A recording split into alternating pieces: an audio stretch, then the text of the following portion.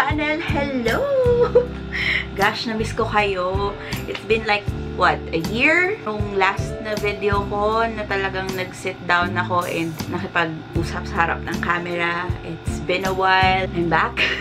Life has been hectic. Sana makapaggawa na ulit ako ng videos. Namiss ko to, sobra. For today's video, meron akong ipapakita sa inyo. A bit of a backstory. Few months ago, nakakita kasi ako ng mga beauty fridge or yung mga skincare fridge na medyo nauuso the past few months or a year, I guess. I actually looked sa Instagram. I found two pages na nagsisell ng skincare fridge for around 3 to 4,000 bucks. Medyo mahal siya, but luckily, si Miss Jade is one of my friend and colleague at work. Nakakita siya sa SM North ng naka-sale na beauty fridge na sobrang cute. So, papakita ko sa inyo. Ang tawag ko sa kanya, officially, ay Magic Frigidaire. Alam niyo yung Frigidaire? The Filipino term for fridge, right? Frigidaire.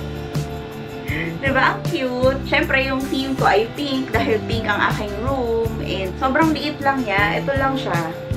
Diba? Ang cute. Gumagana naman siya. Nabili siya ni Miss Jade on sale sa SM North. I'm not really sure if it's still available in SM North. In fairness naman sa kanya, diba? Compared dun sa mga beauty fridge na nakita ko na like, what? 3,000, 4,000 pesos. Ito, 700 lang. 'di ba? So parang pwede din kasi ito sa car, I believe. So parang dito sa gilid yung parang buttons niya kung gusto mo na. Pwede, actually pwede din siyang hot. Pwede rin siyang cold. Tapos dito yung saksakan for the uh, switch and then yung saksakan for the car. Papakita ko sa inyo yung laman niya sa loob. Yung mga laman nito sa loob. The basics. Ito yung loob niya. Kind of spacious, as you can see. Ano ba yung laman ng aking beauty fridge? Unang-una sa lahat, syempre, ang aking wax. Yung cold wax kasi that I use is Esme Cold Wax. So, ngayon yung ginagamit ko yung candy wax. Ang next na laman niya is yung aking sunblock. Uh, yung sunblock ko lately is Flawless. Ito.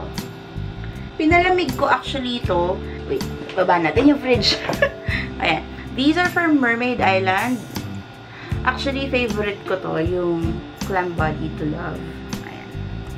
And then, uh, itong Shell Yeah na highlighter. Pinalamig ko siya kasi when I received this, medyo nainitan siya dun sa car. Kinailangan ko siyang i-ref.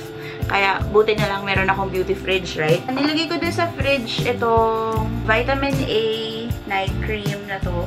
Nabili ko to sa Dubai. Ginagamit ko lang siya as needed kung meron akong mga dark marks na sobrang lala, ito yung ginagamit ko para mag-micropeel yung face ko. Itong tomato serum ng Skin Potions. Yung moisturizer ko. Ang moisturizer ko lately is itong Celadec. This is yung aloe vera gel. Nilagay ko lang siya sa tube kasi medyo messy kapag ka yung tub yung lagi kong ginagamit. So, kapartner siya ng wax ayun lang. Actually, yun lang yung laman ng fridge. As a review, actually, maganda yung fridge. Lumalamig siya, actually. Hindi naman siya kasing lamig nung malalaking frigidaire or yung malalaking fridge na ina-expect ninyo. But it does the job. Okay siya na nandito lang siya sa room. Uh, hindi naman siya yung as in umiinit. Umiinit talaga siya kasi merong motor, right? So, hindi naman siya yung ganong kainit na lalamigan naman yung mga beauty products ko sa loob. I don't have any complaints for 700 pesos. It works. Siguro a con would be wala siyang compartment for masks kasi I'm planning to invest also sa mga mask in the future. Siguro yun lang yung difference nitong fridge na to do sa mga fridge na talagang for skincare na nabibili ng mahal. Again, I thank you Miss Jade. I if you're watching, thank you so much sa pagbili. kasi may message niya ako one afternoon, nakita niyo yung fridge kasi na, pinakita ko sa kanya yung bala kong bilhin. Eh, ang mahal-mahal. Thank you so much, Miss Jade. That's it for this video. Sorry, sobrang ikli lang niya.